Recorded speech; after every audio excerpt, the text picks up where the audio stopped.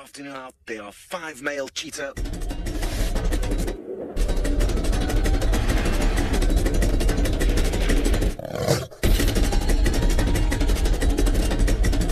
By the fact that, from what we've heard, these guys are incredible successful hunters, and we've already managed to see three takedowns, all within kind of 24 hours spent with them. So, a very formidable coalition. Not too much prey around in the immediate area, but that could change at any moment. We're in a it's kind of slight valley. And this is interestingly not too far away from where we saw them make a kill last week, Friday morning. They crossed a small riverbed which is just behind us, and I fear they may actually want to cross that riverbed and head to the northern parts of their territory to go and check in to make sure there's no intruders there. They've been in the southern parts of their territory for about a week now. So I think they're heading north to check on things up there which means we'll have the help of some of the guides and other vehicles that are driving around this area. We have eventually managed to work out where they were. And I'm told a lot of you guys are really, really ecstatic about the fact that we've got some cheetah on screen. It's probably the least viewed cat on Safari Live, but we look to change that now that we're in an area with more cheetah. Now, I did mention that Brent is also going to be out a little bit later. There's also Ali, who's going to be driving around in a different reserve in South Africa called the Sabi Sands. And that's a great place to see leopard. So who knows? We could see two of our spotted cats this afternoon if we're lucky.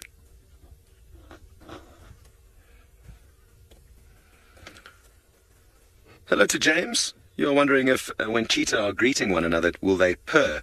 And I have spent very little time with cheetah, James, so I'm actually not too sure of that, and I personally have not heard any cheetah purring. They've got quite interesting audio that they make. It almost sounds like video communications with and she's trying to analyze and work out what it is exactly that they are saying to one another.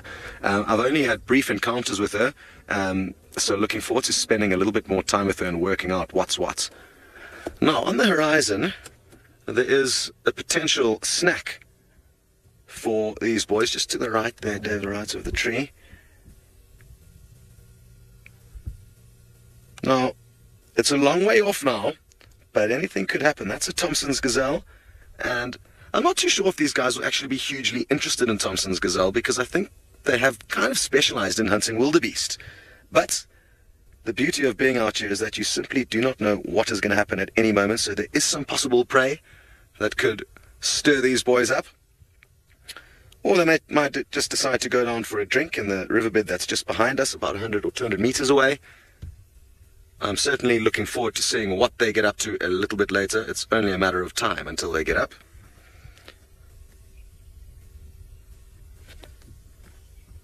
Hello to Enid, who would like to know a little bit about more about what would happen had had these boys decide to go and chase down a Thompson's gazelle or any other prey. Will they hunt as a team?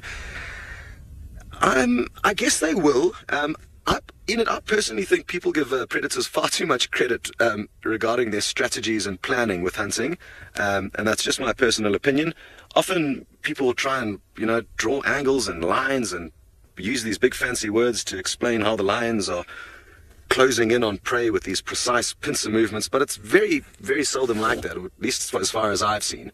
And with these five boys, what I've noticed is that it's more likely Dave's going in to show, show him now, and all three kills that have been made in the time that we have seen them make kills, it's been him, with the others following behind. Now, that's not to say that he could chase one and another one could assist in the hunt, but I think it's more through default than kind of planned teamwork. They all just run after the best possible prey item, and if they're all chasing the same one through de- default, then I guess it is teamwork.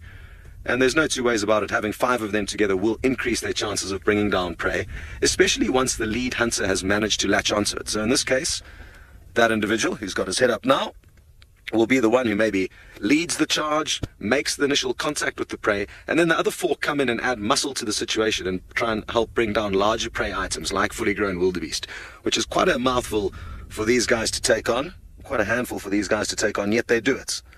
So yes, there is teamwork, but I just feel that quite often people overanalyze or overemphasize the skill of the predators, whereas to be honest, it's the skill of the prey who nine times out of ten escape them.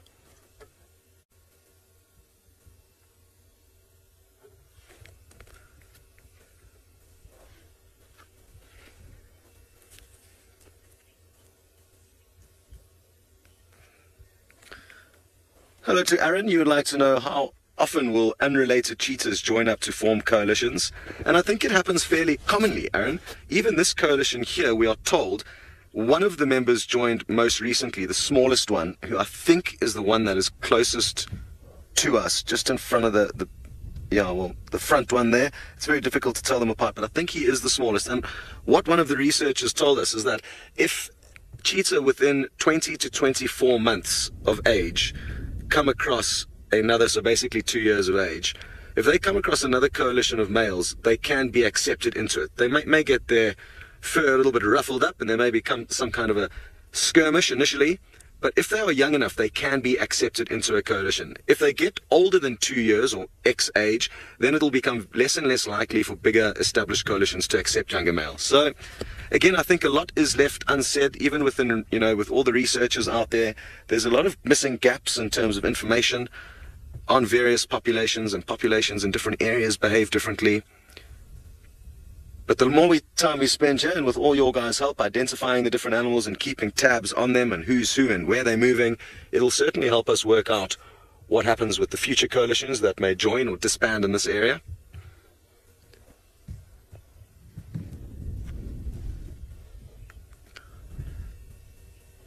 Hello to Laura. You would like to know if this coalition has a name, and we are going. We are trying to tread lightly with regards to names of animals at this stage because we just don't want to make any mistakes. So what you often find in most wilderness areas you go to is that one camp or one group of guides may call a coalition X name and the other camp down the stream or the other team of guides may call the same coalition something else. And we're not too sure exactly how many names there may be. We've already got misleading information for the name of the guy with the collar on. We were told it was Hunter by one person and Dartonian by another. so we're still trying to work out who's who. But yes, the name, or one of the names I've heard of this coalition is called the Musketeers. That in itself can be confusing because there's also a coalition of lion in the Mara called the Musketeers. I guess a coalition of lion and cheetah are quite easily distinguishable there. But that's the state at the moment, the state of things.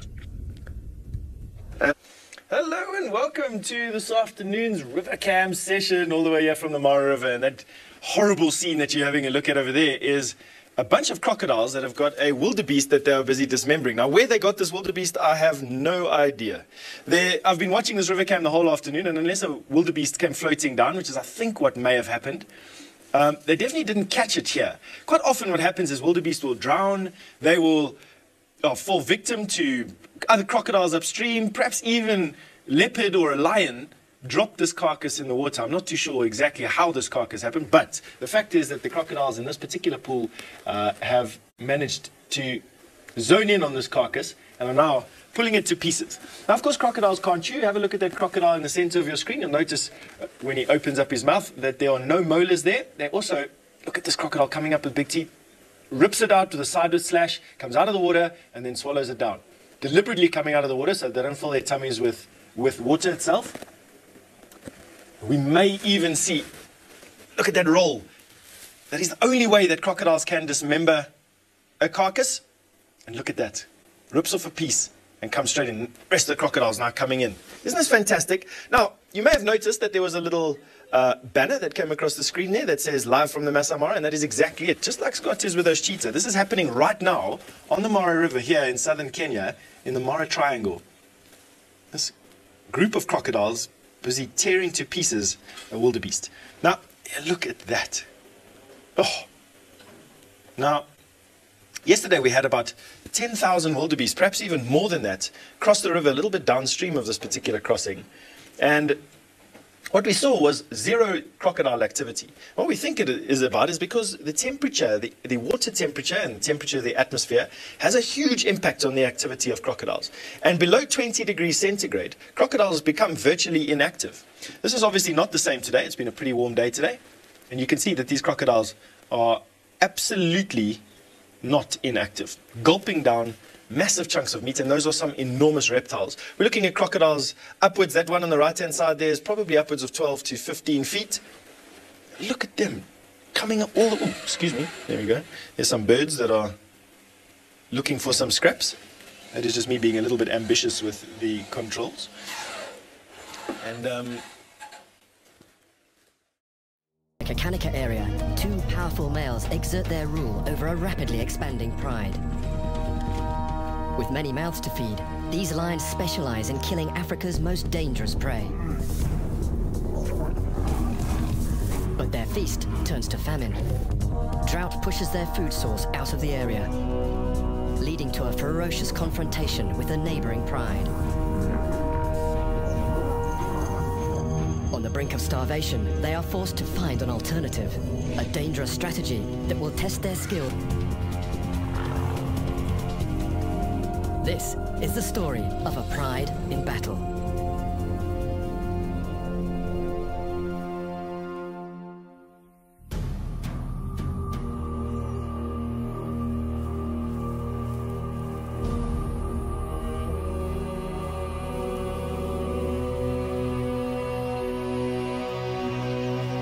At the beginning of summer, two lion brothers take ownership of one of the most sought after pieces of land in the, the view. Now, crocodiles, generally speaking, don't really eat fresh meat. Now, this is generally speaking. In the Mara River, and especially after waiting almost an entire year for food, these crocodiles will eat fresh meat. Of course they will.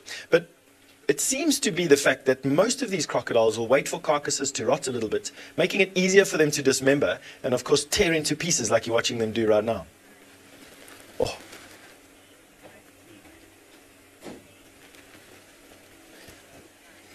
Now, oh, hi, and you've just asked if crocodiles will feed on carcasses that they didn't themselves kill. Absolutely.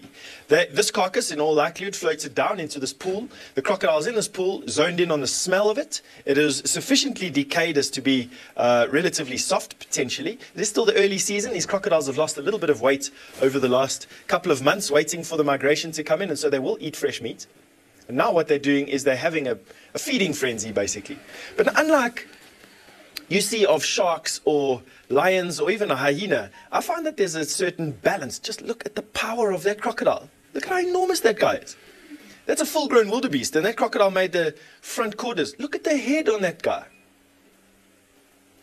That is amazing. There are a couple of giant crocodiles there. Look at how long that crocodile is. Just he dwarfs the actual branch. One of the biggest crocodiles in this pool. Quite easy, could pull down a 400-pound wildebeest on his own. Obviously a little bit hungry right now. I've seen a picking order to these feeding frenzies. The biggest crocodiles get the get the most food. Other crocodiles, smaller crocodiles and females, hang around in the periphery and snatch what they can. And there is no evidence of baby crocodiles in these pools. You're not seeing you're only seeing big crocodiles like that giant over there. You're not seeing small crocodiles. I've got a funny feeling it's because small crocodiles will be preyed on by these big guys. And they, the smaller crocodiles have to make space and basically go and live in other places. Here he comes in over the top. Let's see what he's going to go and do asserting his dominance over here, puffing out his throat. Uh, this is amazing. Now, what makes me think this carcass came down the river is just look where it is. It's caught up on some branches in this eddy, backwater. There you can see the horns of the wildebeest. Wow, what an interesting sighting. Now, I don't notice this frenzy. This, this is a bit of a frenzy. I don't notice this on a fresh kill. Look at that mouth open. Isn't that the most terrifying thing? Big crocodile, getting out of the way of another big crocodile. Obviously, that one more dominant, bigger, stronger. Who knows? That bird on the left-hand side, a yellow-billed stork. Oh, whoa, whoa. What's happening over here? These crocodiles having a bit of a fight with one another. That is a big crocodile. Have a look at that. Posturing.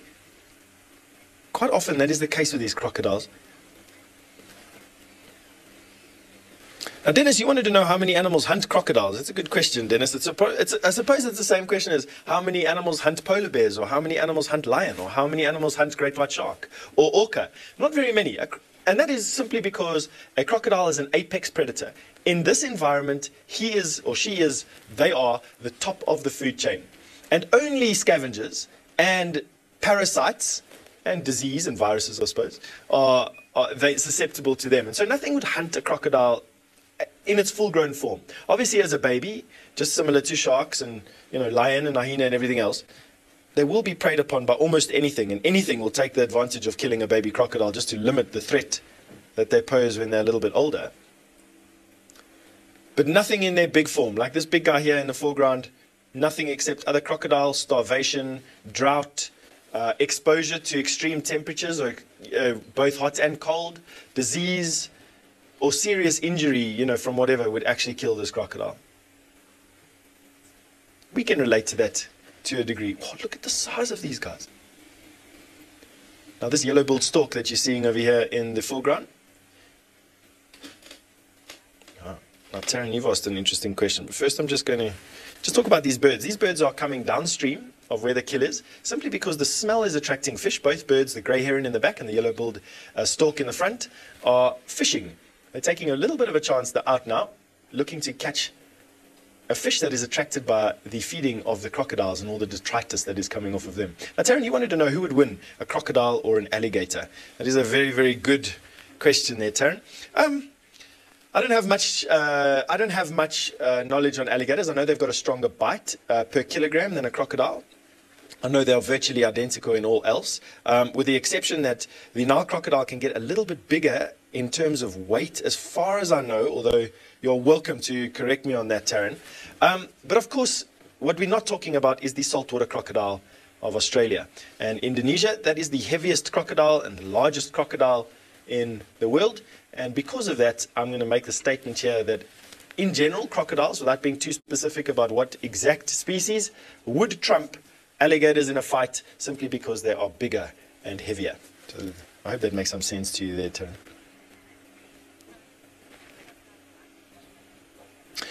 Now, Tula Ann, who's only five years old, hello Tula Ann, you wanted to know do crocodiles bite each other? Tula Ann, absolutely, they do bite one another. They slash at one another with their teeth. And quite often you see crocodiles with bite marks on their snouts and on their heads and on their flanks from other crocodiles. And they do that just to assert dominance. If you've been watching this for a little bit, you would have noticed that a very big crocodile just now opened up his mouth and made a slashing attempt at another very big crocodile. And that is just to assert dominance there will be a hierarchy, and what that means is there will be a boss of this particular pond, and this boss will have the first pickings of all the choice morsels that come down here.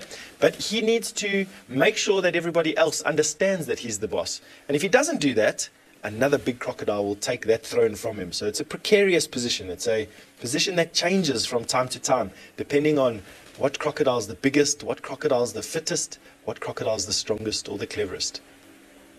Oh, this is just such a fantastic sighting. Now, Ruby, you're a new viewer. Welcome, Ruby. Welcome to Safari Live. I'm sure everyone will welcome you throughout the afternoon. You wanted to know if the crocodiles got too close to these birds, would they consider eating them or would they be able to eat them? Absolutely, Ruby. Uh, crocodiles are opportunistic. They are carnivorous to a fault. Have a look at this crocodile coming in here and they will absolutely eat birds. Now, it's funny that a crocodile about a half a meter in length, so about one and a half feet to about three feet in length, will eat birds, fish, and insects as the majority of its diet. As it gets bigger, that look at this coming in, coming in. He's going to make a snap at it. Oh no, that bird has seen a crocodile before. Almost, Ruby, you almost got your wish over here. That crocodile's probably just over three or four feet. Now, they will eat insects below three feet, majority insects and fish, then from three feet to about the size of these crocodiles here, mainly just fish. And then when they get to these giant old crocodiles that you're watching in the distance over there, these crocodiles are absolutely just meat eaters, which gives them the largest intake of calories and protein for the least amount of effort. Now, are we watching what happens to the rest of this wildebeest buffet? I'm going to be sending you over to, I think, Brent. I'm not too sure. Perhaps Brent has finally found some signal, and uh, we're going to see you in a little bit. There we go with one of the most beautiful and biggest antelopes in Africa, the eland. Now, they range all through the Mara Serengeti system, but we do have a particular fondness for this herd that hangs around the area below our camp. Now, eland one of these 100% live, and I would love to hear from you. So let me know what you think, or if you have any questions, by using the hashtag Safari Live on Twitter and we can hear an aeroplane overhead taking uh, some lucky guests either in or out of one of the fantastic lodges that are all through the Masai Mara. But now, I think we're going to have, we had such a good morning. Uh, we had lions, we had wildebeest, we had zebra, we had crocodiles, and uh, we had a few bird species. Now, I know quite a lot of our regular viewers are itching to get to 50 bird species. There he is, sitting atop of the shepherd's tree. You can hear him calling, you can see him calling, and a very drab little bird, but he does have a, a slightly reddish cap um, that extends when he's trying to impress the ladies. Well, let's leave the little rufous-naped lark and see what other. Now, James is wondering about the social structure of Eland. Uh, it differs slightly uh, from some of the an- other antelope, James. Now, uh, they will be in loose female herds, and there will be territorial, well, sorry, not territorial bulls, dominant bulls. Now, Eland are not as territorial as certain animals, they tend to move and have seasonal migrations between different areas. So you can have multiple large bulls in a herd, and they will fight for the right to breed when a female is in estrus. Other than that, you will often, you can often find females uh, without any dominant males around, and it could just be that there are no females in estrus at that point. Now they also breed throughout the year. They are not seasonal breeders. Oh, here we go. For the birders, we've got yellow-billed oxpeckers on that young eland. I just really love that sort of reddish colour on them. And uh, they are part of the Tragelaphid family as a young boy. Now, Tragelaphids are spiral horned antelopes. And uh, you can see that twisty horn. Now, elands are by far the biggest of the spiral horned antelope. Um,